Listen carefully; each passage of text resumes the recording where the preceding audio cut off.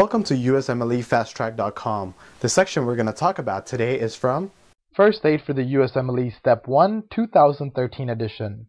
Page 437. Eye and retina. Briefly describe the anatomy of eye and retina by looking at the picture. In the picture here, you see the eye and retina. We're going to start off looking at where it says cranial nerve 2, which is the optic nerve entering the eyeball. And here you also see in between the optic nerve, you see the central retinal artery and the central retinal vein. Along with that, you also see the hyaloid canal. There is also the optic disc and the fovea centralis. You also see the different layers of the eyeball. And the three layers are retina, choroid, and the sclera.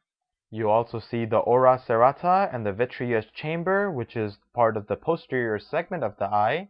And the anterior segment of the eye is made up of the anterior chamber and the posterior chamber. Now we're going to look at where it says the ciliary muscle and the ciliary process.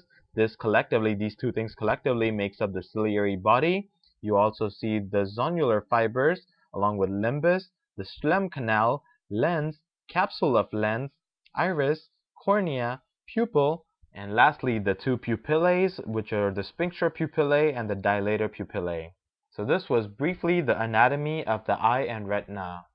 For more information on this topic, click on the link in the description section below. For a full USMLE Step 1 review, be sure to check us out at usmlefasttrack.com where we help you review the entire first aid for the USMLE Step 1 with high quality videos and hundreds of detailed pictures for a better understanding of the material.